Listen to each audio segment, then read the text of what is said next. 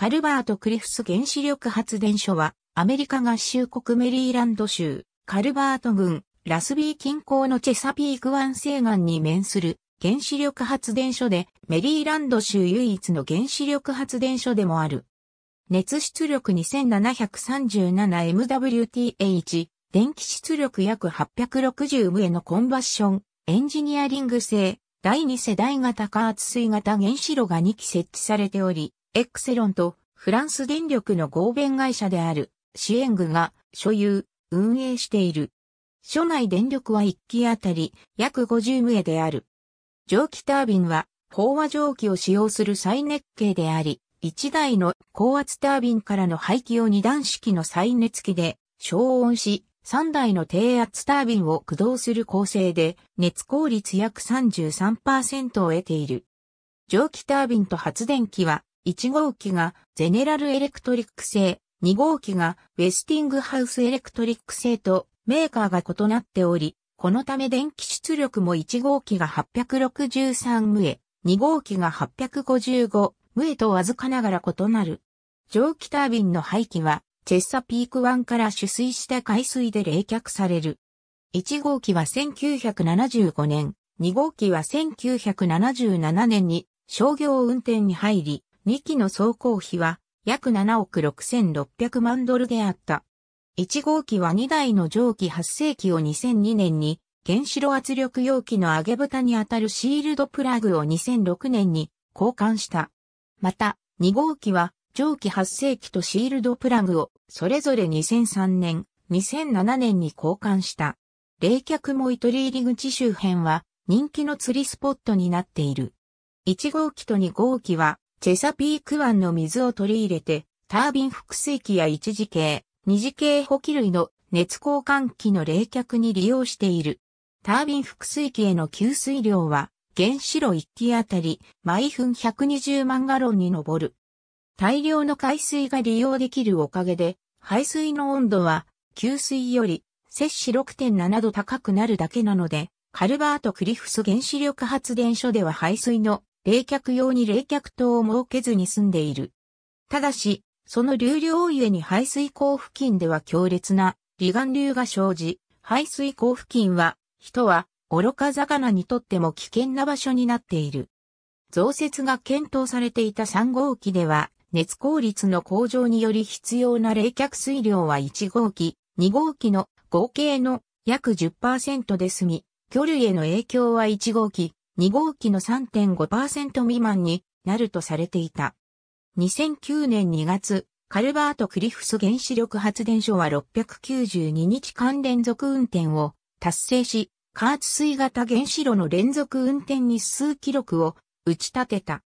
また、2008年の2号機の設備利用率は101.37%で、これも世界記録であった。原子力規制委員会は原子力発電所の周囲に2つの緊急時計画区域を設定している。半径10マイルの範囲は大気中に放出された放射能への暴露及び吸入が懸念されるエリア。半径50マイルのエリアは放射能を汚染された食物及び飲料水を通じた被爆が懸念されるエリアである。2010年米国国勢調査のデータによると、半径10マイル以内の人口は48,798人、半径50マイル以内の人口は289万702人で、前回2000年の国勢調査から、それぞれ86.4%の増加と2.0%の減少であった。半径50マイル以内には、首都ワシントン DC も含まれる。2001年、ドミニオンエナジーのコーブポイント LNG 基地で海外からの LNG 輸入再開が検討されるようになると、地元住民はカルバート・クリフス原子力発電所とコーブポイント LNG 基地がわずか3マイルしか離れていないことに懸念を示すようになった。これは1979年10月にコーブポイント LNG 基地で LNG 漏れによる爆発事故が起きた過去があったためであるが、連邦エネルギー規制委員会は爆発やテロ攻撃によるリスクがあるとは考えていないと説明した。2010年8月に公表された米国原子力規制委員会の調査報告では、カルバート・クリフス原子力発電所の地震による炉心損傷リスクは1号機で10万年に1回、2号機で8万3000年に1回と推定された。2号機は2013年9月5日に試験中の誤動作により緊急停止したが、必要な処置を施して2013年9月10日に運転を再開した。ジョンズ・ホプキンス大学の研究者らは、発電所からの温排水がチェサピーク湾の生態系、特にチェサピーク渡りガニに悪影響を及ぼすことを懸念していた。この懸念は、1960年代後半、国家環境政策法に関連するアメリカ史上最も有名な環境訴訟、カルバート・クリフス、調整委員会対原子力委員会訴訟の原因となり、その結果として、ワシントン地区連邦裁判所が原子力委員会には原子力施設の建設許可に先立って環境法に基づく十分な審査を行う義務があるという判決を下すに至った。2000年、原子力規制委員会はカルバート・クリフス原子力発電所の運転許可をさらに20年延長した。これは全米の原子力発電所で初めてのことであった。2005年6月にはジョージ・ W. ブッシュ大統領の訪問を受けたが、これは直近20年間で初となる現職大統領の原子力発電所訪問であった。コンステレーションエナジーと EDF が共同所有するユニスターニュークリアエナジーはカルバート・クリフスに3号機として1号機、2号機の合計に匹敵する発電容量を持つ欧州加圧水型炉を建設する計画を発表した。ユニスターニュークリアエナジーは2007年7月13日に原子力規制委員会に対してあればの第3世代原子炉である欧州加圧水型炉を米国の基準に適合させた USEPR を3号機として建設するための建設、運転一括認可の申請を行った。3号機は中部大西洋岸地域での電力需要増加に対応するベースロード電源と位置づけられ、1号機、2号機の南側の海岸線からやや奥まった場所に建設することとされた。3号機は温排水によるチェサピーク湾の生態系への影響を防ぐため、排熱の2、3を大気に放出する設計となり、強制通風を取り入れたハイブリッド型冷却塔を設置するために敷地面積は既存の1号機、2号機を合わせた面積の約2倍となった。また、蒸気タービンは1号機、2号機と同じく飽和蒸気式で、構成も高圧タービン1機と低圧タービン3機の組み合わせとなった。蒸気タービンと発電機はアルストムが供給する予定であった。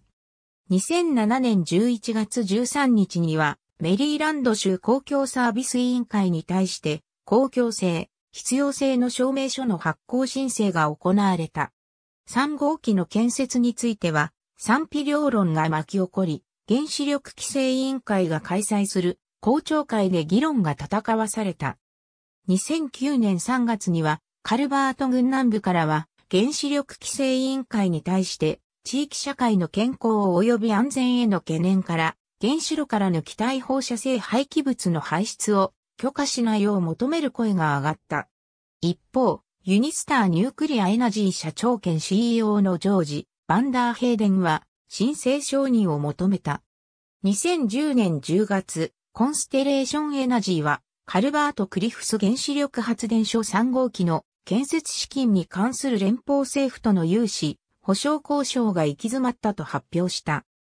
連邦政府は納税者への債務不履行リスクの保証として保証額約76億ドルに対して手数料8億8000万ドルを要求していたが、コンステレーションエナジーは、このような手数料は、あらゆるプロジェクトの経済性を失わせるものだと主張した。証券取引委員会によると、2010年11月に、コンステレーションエナジーは、ユニスターニュークリアエナジーの持ち分を EDF に譲渡する契約を締結した。この契約では、EDF は保有するコンステレーションエナジー株式350万株をコンステレーションエナジーに譲渡し、取締役会の議席を放棄することになっており、これを受けて EDF が指名した取締役サミュエル・ミンツバーグが辞任した。2011年4月、原子力規制委員会は EDF がユニスターニュークリアエナジーの単独所有者である限り、建設、運転一括認可は発給できないと発表した。これは、米国原子力法では、米国資本の参加のない企業に対して、建設、運転一括認可は発給できないと定められているためで、原子力規制委員会は認可手続き自体は進めるが、ユニスターニュークリアエナジーの資本要件が満足されるまで認可証は発行しないとした。この時点で建設費用は96億ドルと見積もられていた。コンステレーションエナジーは2012年にエクセロンに吸収合併され、原子炉を建設する予定だったアレバは、業績低迷に伴う組織再編の結果、2015年に USEPR の設計認可申請を取り下げ、欧州型加圧水路の米国進出計画を保留することになった。